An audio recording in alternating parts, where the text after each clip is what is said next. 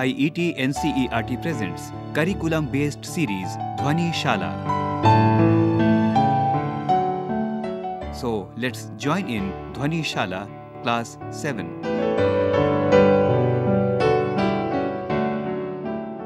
Hello, dear friends. Once again, this is your friend Premlata. Nice to meet you again. Hope you're brushing up your mathematical skills and practicing sums from your books. So let's continue our journey of learning about fractions and decimals, which is your chapter 7 of Mathematics NCERT. In this session, we will discuss the concept of decimals, place values of the digits in decimal numbers, and then about basic operations of addition, subtraction, multiplication, and division in decimal numbers. You all must be familiar with the concept of place value in your junior classes. For example, how will you understand the number 573? I mean, you know that the number is 573, but how do we look at it in terms of its digits? In every number, each digit has a place value and that depends entirely on where the digit is placed or positioned. Here in 573, the digit 3 is in the ones place or the units place. The digit 7 is in the tens place and the digit 5 is in the hundreds place. With the help of place values, let's try to break 573. 5 lies in the hundreds place, so we can write it as 500. As 7 lies in the tenth place, so we can write it as 7 tens or 70. As 3 lies in the units place, so we can write it as 3. So, we can say that 573 is equal to 500 plus 70 plus 3. Now let's make the number little tricky. Let the number this time be 573.2. We had broken 573 already as 500 plus 70 plus 3. What about point 2 which is attached to it? Just remember, when we move towards the left side of the decimal, the place value of the digits increases 10 times with each step. And when we move towards the right of the decimal, the place value of the digit decreases at each step. That is, we have to divide by 10 at each subsequent step.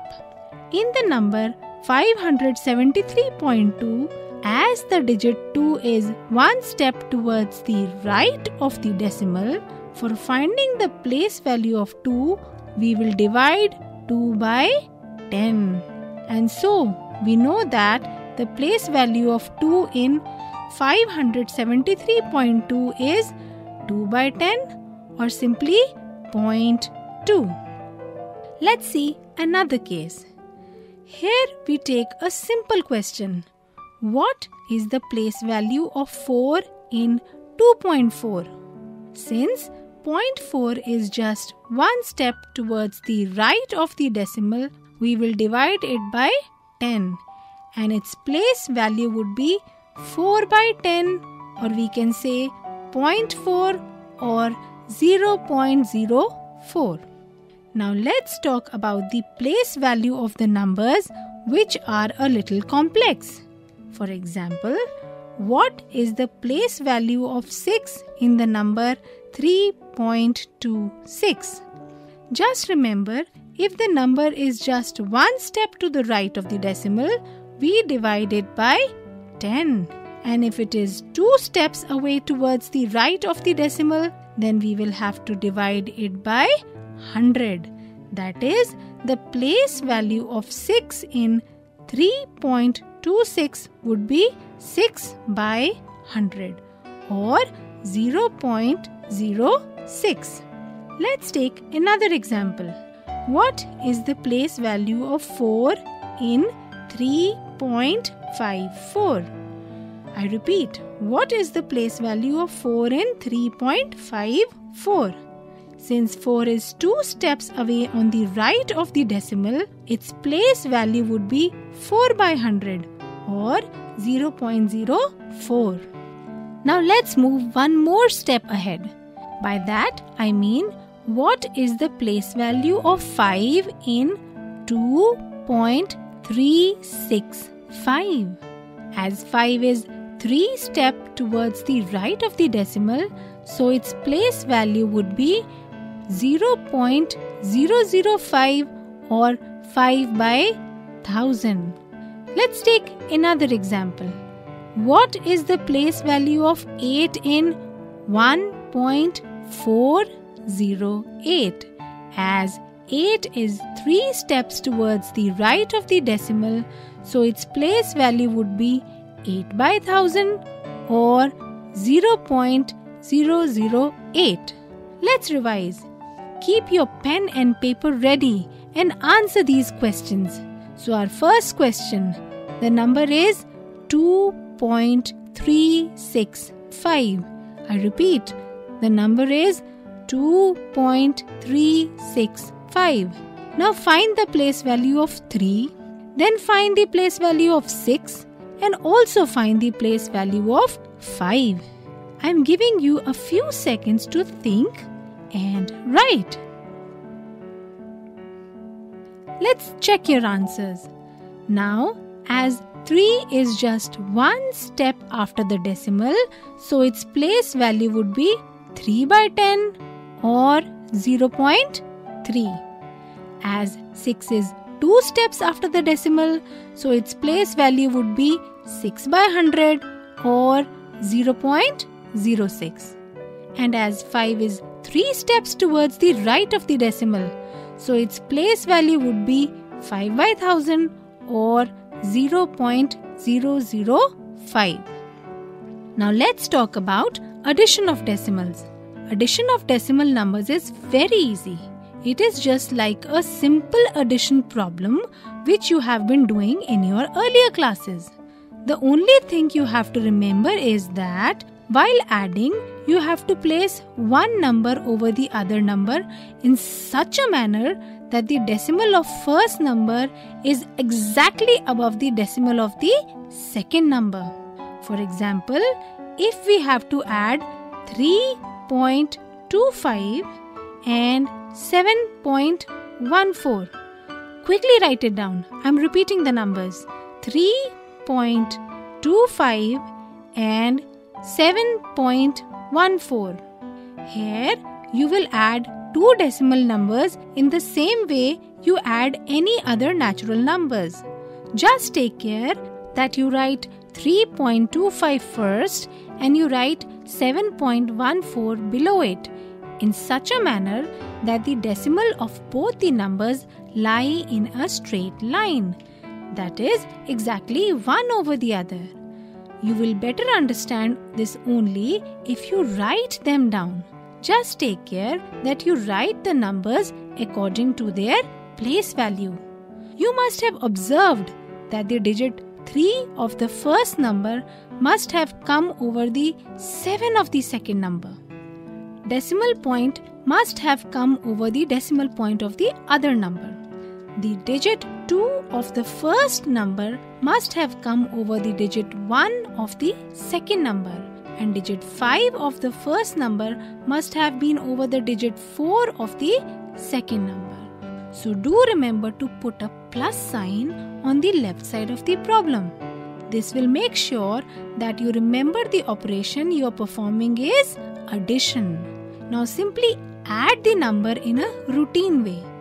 You all know that you always begin to add from the rightmost digits. So first we will add 5 and 4. We get 9. So we will write 9 over there. Then we add 2 and 1. We get 3. Then we will put the decimal point. Then add 3 and 7 and find your final answer. I will wait for you to find out the result. I hope your answer would have come out to be 10.39. Just remember the method of addition will be the same always. Let me give you one more question to solve. Add 1.34 and 2.76. I repeat 1.34 and 2.76. In this case, you will write 1.34 in a normal way. Then write 2.76 in such a way the decimal of the first number lie exactly above the decimal of the second number. Please write these numbers for better understanding. You must be seeing that the digit 1 of the first number comes directly over the 2 of the second number. Decimal of the first number is under the decimal of the second number and the digit 3 of the first number over the digit 7 of the second number and digit 4 of the first number is over digit 6 of the second number. If the placement of your digit is correct, then your answer is surely going to be correct. Just add the numbers and write your answer. Remember to begin from the rightmost digit. I'll give you a few seconds to think and write. If your answer is 4.10, then great job! You did it. And if your answer is not the same, then you need to practice more. It will be better if you always keep a pen and a paper while solving the sums. If you tend to do the calculations mentally, the probability of committing the errors rises a little bit. So, for safety's sake, always have a pen and a paper while attending the sessions of mathematics. Now, let's talk about subtraction in decimals. Subtraction in decimal numbers is also very easy. It is just a simple subtraction problem which you have already been doing in your junior classes. The same thing you have to remember is that while subtracting, you will have to place one number over the other number in such a manner that the decimal of the first number is exactly above the decimal of the second number. Let's take an example for the better understanding of the concept of subtraction. Subtract 2.15 from 3.47. I repeat, Subtract 2.15 from 3.47. Here, please write 3.47 and now write 2.15 under it. Just make sure that the decimal of both the numbers lie in a same line. That is, one over the other. While writing, make sure that the bigger number is placed on the top and the smaller number which is to be subtracted should come below. We will see that digit 3 of 3.47 number comes directly over digit 2 of 2.15. Decimal of both the numbers should come in a straight line. Digit 4 of the bigger number comes over the digit 1 of the other number. And digit 7 of 3.47 comes exactly over the digit 5 of 2.15. Now, like a normal subtraction problem, solve and write your answer. Remember that we always start from the rightmost side. First, we will subtract 5 from 7 and we will get the answer 2. So we will write 2. Then we will subtract 1 from 4 and we will get the answer 3. And so write it down. Then we will put the decimal point and then we will subtract 2 from 3 and we will get the answer 1. So our final answer is 1.32. So you see that the subtraction of decimal numbers is as easy as the subtraction done by the whole numbers. Let's take one more example. Subtract 11.23 from 25.78. I repeat, subtract 11.23 from 25.78. What is the first step? Yes, you will write 25.78 first. And exactly below this number, write 11.23 in such a way that the decimals of both the numbers lie in a straight line. You must be noticing that 25 of the bigger number is written above 11 of the second number and 0.78 is written above the 0.23 of the number which is to be subtracted. Now like a normal subtraction problem, solve and write your answer. I will give you few seconds to solve and write your answer. Hope you got the answer as 14.55.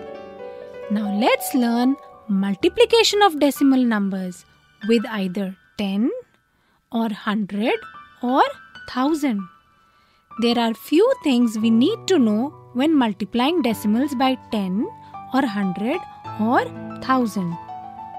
First one is that just remember that every number has a decimal point attached to it, even if it is not visible or it is not written.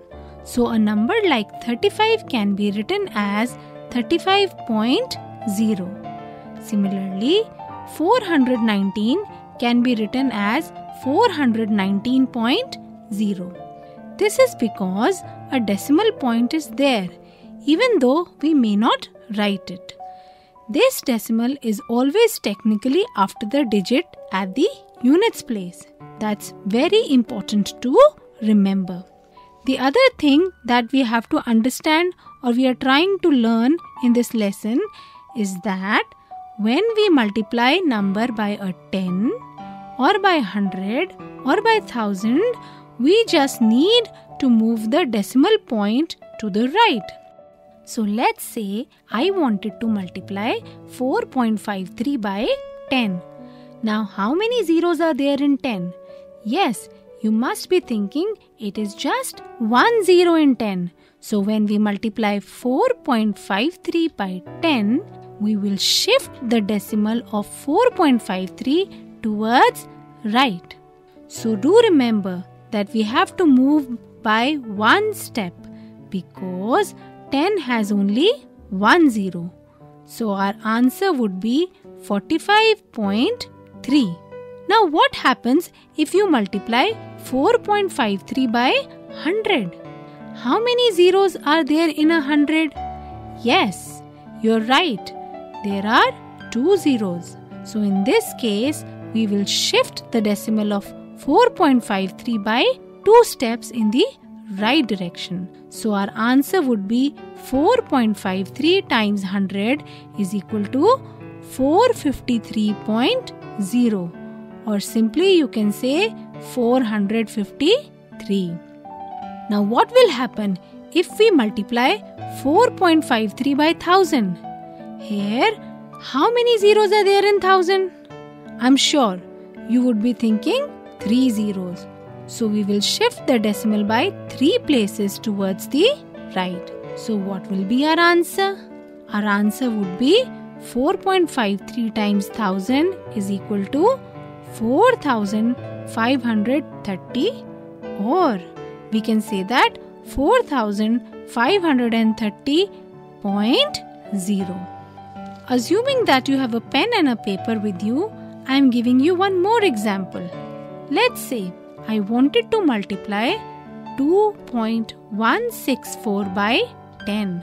Now how many zeros are there in 10? Yes, 1 zero.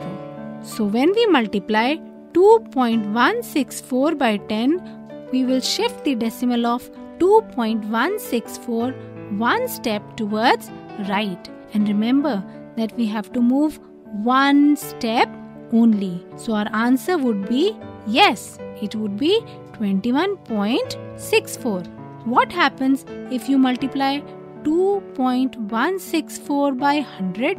How many zeros are there in 100? Yes, two zeros. So in this case, we will shift the decimal of 2.164 by 2 steps towards the right direction. So our answer would be 216.4. Now what will happen if we multiply 2.164 by 1000? Here, how many zeros are there in 1000? I'm sure you would be thinking 3 zeros. So we will shift the decimal by 3 places towards the right. So what will be your answer? Our answer would be 2164 or we can say that 2164.0. That was easy. Now if you have understood the concept of multiplication of a decimal number by 10 or 100 or 1000, you will be easily able to understand the concept of division also. Just remember, this time while dividing a decimal number by 10 or 100, you will move towards the left of the decimal as division is exactly the opposite of multiplication. So, movement of decimal will have to behave in an opposite manner and the opposite of right is left. Let's say I wanted to divide 514 by 10. Now how many zeros are there in 10? Yes, you must be thinking it is just 1 zero in 10. So when we divide 514 by 10, we will shift the decimal of 514 towards left and that to once only. Now remember, we have to move by one step because 10 has 1 0. So our answer would be 51.4. Now what happens if you divide 514 by 100 instead of 10? How many zeros are there in a 100? Yes, you are right. There are two zeros. So in this case, we will shift the decimal of 514 by 2 steps towards the left direction. So our answer would be 5.14. Now what will happen if we divide 514 by 1000? Here, how many zeros are there in 1000? I'm sure you would be thinking 3 zeros. So, we will shift the decimal by 3 places towards the left. So, what will be our answer? Our answer would be 0.514 or we can say 0.514. Now we are taking one more example. Let's say I wanted to divide 6851 by 10. How many zeros are there in 10? Yes, 1 zero. So when we divide 6851 by 10, we will shift the decimal of 6851.0 towards the left. And remember, we have to move by one step only. So our answer would be yes. It would be 685.1. Now what happens if you divide 6851 by 100? How many zeros are there in 100? Yes, there are two zeros. So in this case, we will shift the decimal of 6851.0 by 2 steps towards the left direction. So our answer would be 68.51 or we can say 68.51. Now, what will happen if we divide 6851 by 1000? Here, how many zeros are there in 1000? I'm sure you would be saying 3 zeros. So, we will shift the decimal by 3 places towards the left. So, what will be our answer? Our answer would be 6.851. Now, let me ask you rapid fire questions. First, what is 5 by 10? Think quickly. If your answer is 0.5 or 0.5, then it is correct. Now get ready for the second question. What is 6 by 100? I repeat, what is 6 by 100? Think quickly. If your answer is 0.06 or 0.06, then you are correct. Now, my third question is What is 53 upon 100? I repeat, what is 53 upon 100? I'm giving you few seconds for that. If your answer is 0.53 or 0.53, then you are absolutely correct. And the last question What is 125 by 1000? I repeat, what is 125 by 1000? Giving you a few seconds to think and write. If your answer is 0.125 or 0.125, then you are correct. Now, since we have learnt a lot today, let's revise what we have learnt. We learnt about how to add and subtract decimal numbers. The golden rule that you have to remember is that while adding or subtracting, you have to place one number over the other number in such a manner that the decimal of the first number is exactly above the decimal of the second number. Then solve in the same way as you add or subtract in natural numbers. Secondly, we also learnt about multiplication and division of decimal numbers by 10, 100 and 1000. We learnt that when we multiply a decimal number by 10, we shift the decimal one step towards the right direction. When we multiply by 100, we will move the decimal two steps towards the right. And similarly, we will move three steps towards right for multiplication of a decimal number by 1000. Now, when we divide by 10, we move the decimal one step towards the left direction. When we divide by 100, we will shift the decimal two steps towards the left direction and we will move the decimal three steps towards the left side if we have to divide the number by 1000. I hope you enjoyed our journey of learning in this session.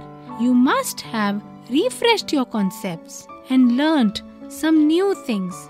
Thank you for being a good listener. You are very patient. Hope to talk to you again. Bye bye and have a nice and lovely day ahead. Thank you.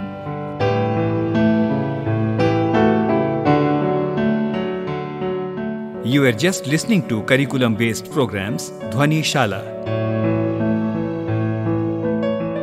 Production assistants Meenakshi Kukreti, Tanu Gupta, and Jagbandhu Jana. Recorded by Bati Langlingdo and produced by Vandana Arimardan. This program was brought to you by CIET NCERT New Delhi, India.